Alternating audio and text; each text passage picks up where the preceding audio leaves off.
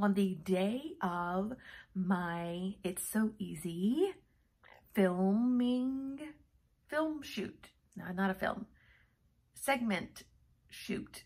I don't know, what do people call this? Um, it's been good so far. So in case you're wondering, I, we have got to find a better solution for this hand holding situation. Okay, that's better, right? Uh, well, better for me. I can't really speak so much for you guys. it is a little shaky because it's on my bed.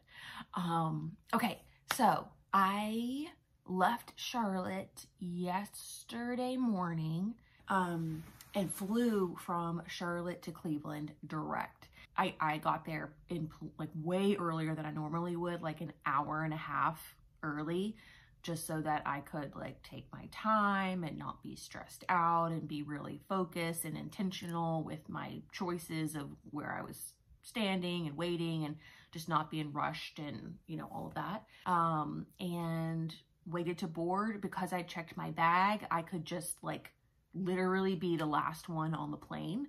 Uh, because I was the last one on the plane, I asked the um, flight attendant if there's an open row, can I just go sit in that row and not have, because it was one of those planes where it was like two seats, an aisle, and then two seats. Um, and he said yes. So the very, very back row by the bathroom, like not ideal, you know, in a perfect world, but all four seats all the way across were completely empty. So we landed, it's a super quick flight, super quick. Um, landed, went to baggage claim. By the time I got down there, the bags were already coming out of the thing. So nobody was having to wait around for very long. Um, got my bag, got an Uber, Uber driver, super clean car. He had a mask on the whole time. I had a mask on the whole time. Um, the weather here is cold. They had a big snowstorm here. That none of it is melted. So like the roads are fine, but like any grassy area or anything is all covered in snow. So it's kind of like pretty in a way.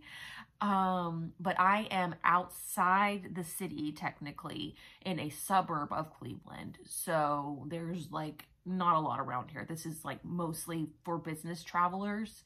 Um, I guess they have a big um, Nestle corporate presence here and Stouffer's, you know, all those like manufacturing, food manufacturing places. So I think that's what most people come here for, but this is where the studio is where we film.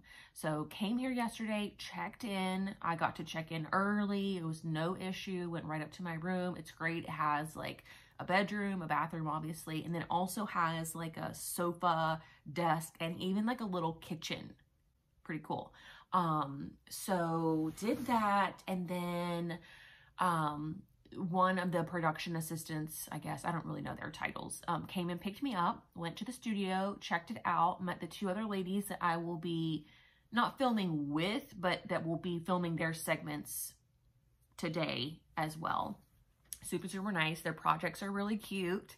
Um, and just kind of got a lay of the land. Then came back here and did all my prep work for the segments. So the way it works is you basically bring in what they call step outs.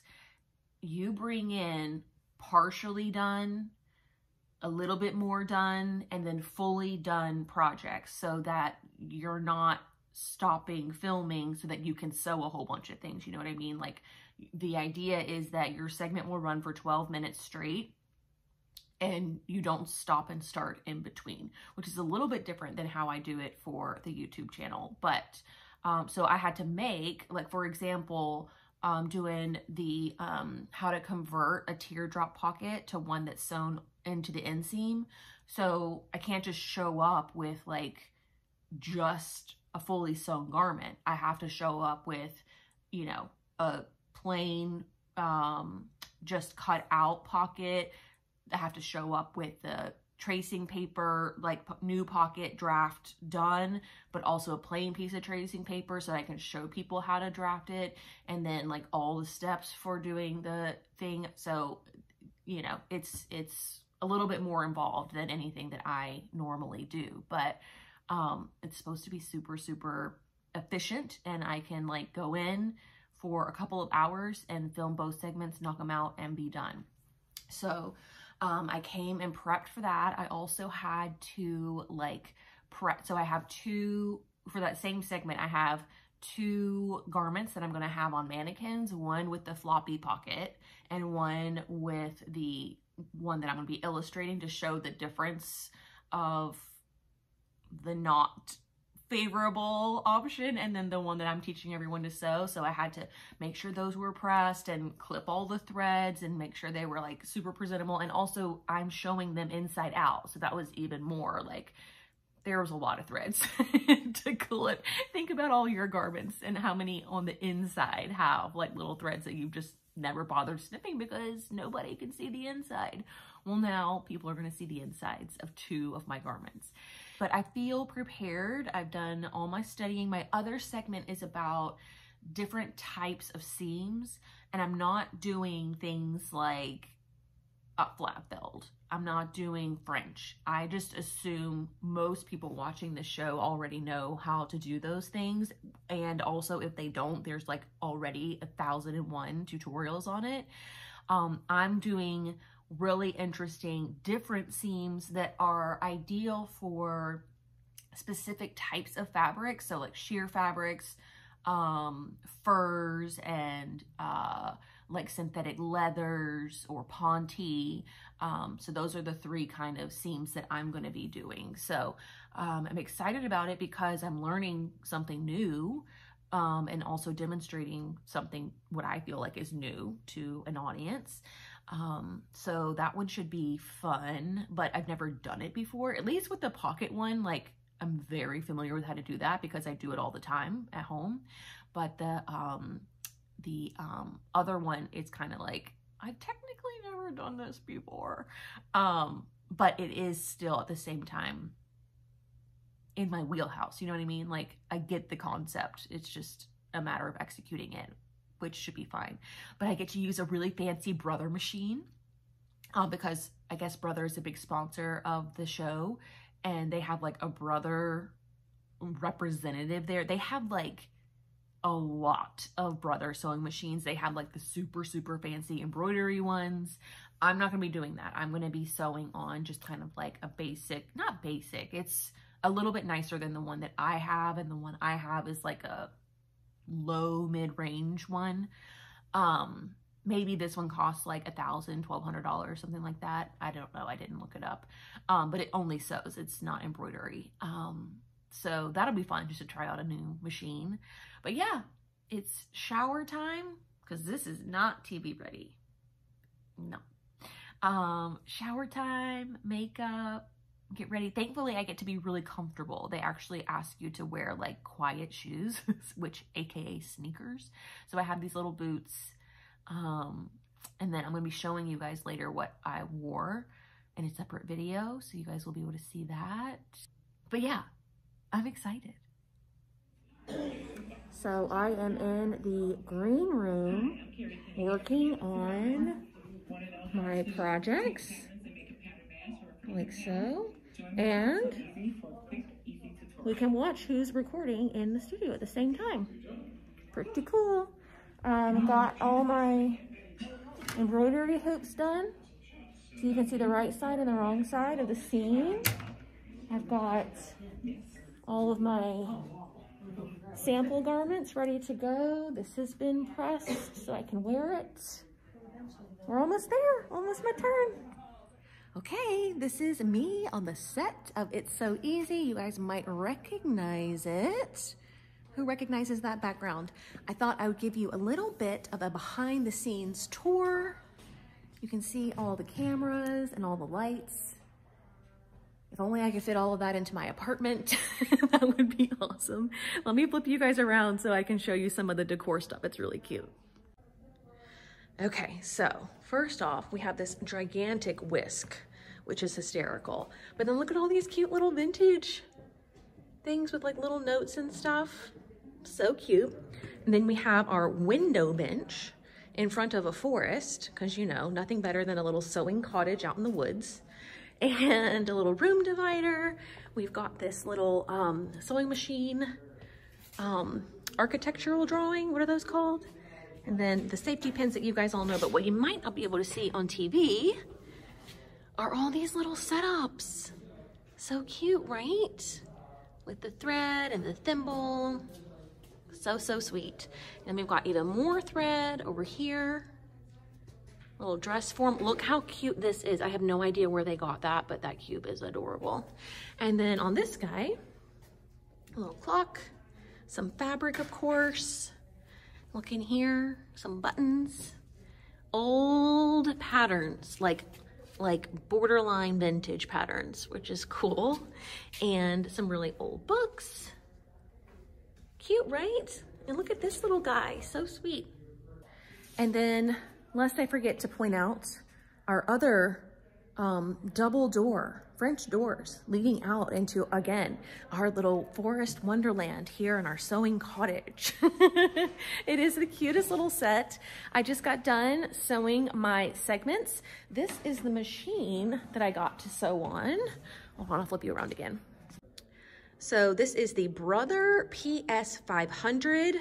Honestly, it's very similar to the one that I sew on at home. It might just be like a one step higher than that, but all of these buttons are the exact same. You can just kind of tell a little bit of a difference when you're actually sewing with it.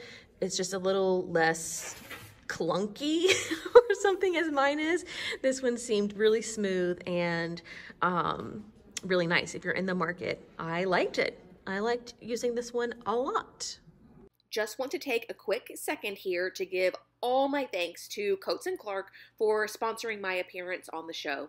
I will have lots more information on the products I use to film my segments, but a heads up, you're going to want their dual duty poly thread, their fine thread, their buttonhole thread, and Eloflex stretch thread in your stash when the episode premieres. So thanks again to Coats and Clark. I can't wait for you all to see how great their threads are for some of these techniques that I was teaching during the show. Back in the hotel room, as you can't tell, back in my robe. Does anybody else do that? As soon as you come back home or wherever you've been all day, you just like put on something comfy. That is me. I am surprised how exhausting it was to do that today. Um, it was basically like a whole bunch of sit around and wait, a whole bunch of like preparing um, little pieces. And I'm going to show you what I worked on today. And then like, it's your turn to go. And so you go in and you basically run through the whole thing one time.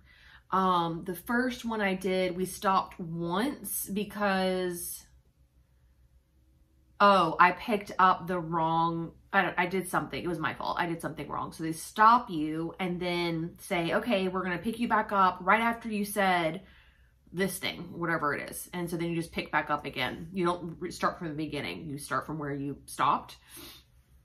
Um, so it took me maybe 90 minutes to do both segments and that includes a portion in the middle where they had to like reset the set. So they took away the mannequins from the first one and all the fabric from the first one and changed out the thread and everything. They swapped it all out.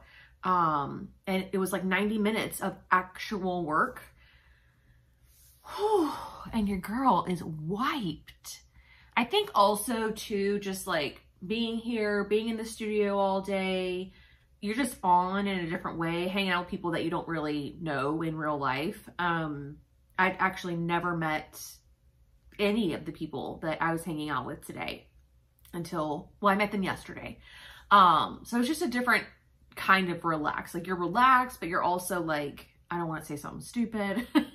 so there's that element of it. But back in the hotel, and I wanted to kind of um, walk you through how it how it all works because it's actually incredibly efficient. And if I could get my together, I would utilize more of what they do on the channel. It just it's like more prep work to do it the way they do it and less camera work. Whereas the way I do it is less prep work, but more time in front of the camera. So I don't really know how that balances itself out yet, but I'm willing to give it a go. And then also I wanted to show you this awesome goodie bag I got. Hold on one second. So you may or may not know, but Coats and Clark rebranded. Um, if you have any of their stuff that has the little um, logo with the chain on it, like this, that's not correct anymore. They have new ones now that have a flower on them instead, or like a kind of like a version of a flower.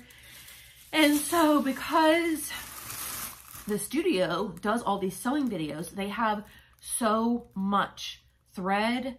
They had, basically she had half of a picnic table of stuff that they were giving away because they had gone through and purged a whole bunch of stuff and you know things that were older or things that they weren't they didn't use anymore. They were just given away to anybody and everybody who would take it. Um, they had like clear rulers and cutting mats. They were just like whatever you want. Um, and so since Coats and Clark sent me here, I thought, well, I will do them a favor and take some of their thread home. So basically what I got is a whole bunch of serger cones in neutral colors. So I got beige, I got white, and these have been used before, but that's okay. I got gray, and of course I got black. So basically I was able to stock up on serger thread. I got four or more of each of them. And actually I was getting ready to run out of white. So that was really helpful. And then um, can't remember if I've talked to you guys about this or not, but um, when I got that Coats and Clark, the 50 um 50 piece assortment thread assortment that is featured in my gift guide they had a couple of these with the multicolor. And at first I was like when I first saw it I was like oh okay that's gonna be like a cute little design like extra kitschy kind of element. But then I used it to top stitch those um that athleisure uh capsule that I made with the leggings and the sports bra. So for the sports bra uh finish the neckline and the armholes, you basically do bias binding and you have to top stitch the top. And I used this in a coordinating color. So that fabric is like orange and pink and whatever. And so they happened to have one that had similar colors. It might be this one um, exactly this one. And it turned out so good and just kind of like blends in with all the tie-dye. So for Black Friday, I ordered a couple of tie-dye fabrics and um, like waffle knit and something, oh, not, mm, not a rib knit, waffle knit and something else. Um, and so they had this whole bag of all of these different multicolored ones. So I have them I mean, every color I can possibly imagine. Maybe not green, but I do think I have green at home. But like really, really cool ones. And then also this like neutral one too that has just like gray and pink and stuff in it, which would be really pretty like on a blanket or something, you know? I don't know. Anyways, I got all of this, which was really nice, which made me happy that I didn't overstuff my bag on the way here. I also checked it on the scale when I went to check it in and it was only at like 30 something pounds. So even though this is heavy, I will go over my weight um, at check-in. Um, but what else do I want to tell y'all about today? It was just really cool and fun and honestly, it's not that much different than what I do already um, the uh, director uh, was like, so have you done TV before?